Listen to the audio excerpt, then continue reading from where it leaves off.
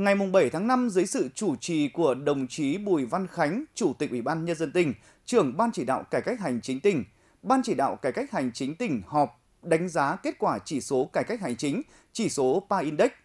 chỉ số hài lòng của người dân đối với sự phục vụ của cơ quan hành chính nhà nước, chỉ số CPAT,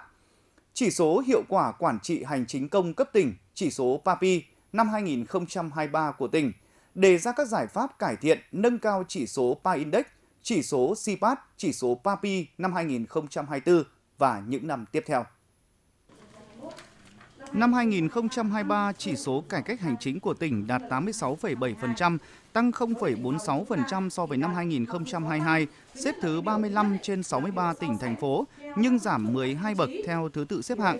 Có 7 trên 9 lĩnh vực có sự cải thiện đáng kể về chỉ số so với năm 2022, đó là công tác chỉ đạo điều hành cải cách hành chính, cải cách thủ tục hành chính, cải cách tổ chức bộ máy, cải cách thể chế, cải cách chế độ công vụ, xây dựng và phát triển chính quyền điện tử, chính quyền số. Kết quả điều tra khảo sát của lãnh đạo quản lý đối với các lĩnh vực cải cách hành chính và kết quả điều tra khảo sát của người dân, tổ chức về sự phục vụ của cơ quan hành chính nhà nước. Một số tiêu chí lĩnh vực cải cách hành chính chưa đạt được hoặc đạt được ở mức thấp ở năm 2022 đã được cải thiện trong năm 2023 đã có nhiều giải pháp sáng kiến có tính mới, tính hiệu quả để góp phần đẩy mạnh cải cách hành chính, phát triển kinh tế xã hội của tỉnh. Đối với chỉ số PAPI tổng hợp năm 2023 của tỉnh đạt 43,55 điểm, xếp thứ 20 so với năm 2022, tăng 2,52 điểm, tăng 23 bậc so với năm 2021, nằm trong nhóm đạt điểm trung bình cao. Có 7 trên 8 chỉ số nội dung tăng điểm,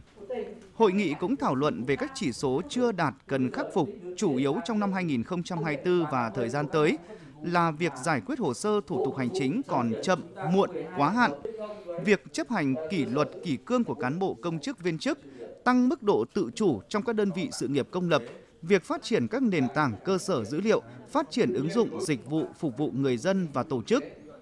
trên cơ sở phân tích nguyên nhân của các thành viên ban chỉ đạo và các huyện thành phố, đồng chí Bùi Văn Khánh, Chủ tịch Ủy ban nhân dân tỉnh, trưởng ban chỉ đạo cải cách hành chính tỉnh nhấn mạnh, cải cách hành chính là một nhiệm vụ lớn ngoài sự chỉ đạo quyết liệt của tỉnh ủy, Ủy ban nhân dân tỉnh, của ban chỉ đạo cải cách hành chính của tỉnh, cần phải có sự vào cuộc của cải thống chính trị. Chỉ số cải cách hành chính là chỉ số động, các địa phương trong cả nước đều có những nỗ lực để cải thiện chỉ số cải cách hành chính của tỉnh mình. Chính vì vậy, việc khắc phục những hạn chế để cải thiện chỉ số cải cách hành chính của tỉnh đòi hỏi phải quyết tâm thực hiện một cách tích cực, đồng bộ, thường xuyên thì mới theo kịp được các địa phương khác và cải thiện chỉ số cải cách hành chính của tỉnh trong những năm tiếp theo. Cái vai trò người đứng đầu các công chí phải chỉ đạo anh em bên dưới các sở ngành ấy, không? Cái đạo đức công vụ cũng quan trọng. Đấy, tại sao lại, lại, lại cán bộ mình lại chưa sử dụng phần mềm được, đúng không? Hay là do phần mềm hay là do người. Phải rõ ra cái ý thức trách nhiệm của giải quyết các thủ tục hành chính giải quyết cái um, kết luận thanh tra. Tôi thấy là để giải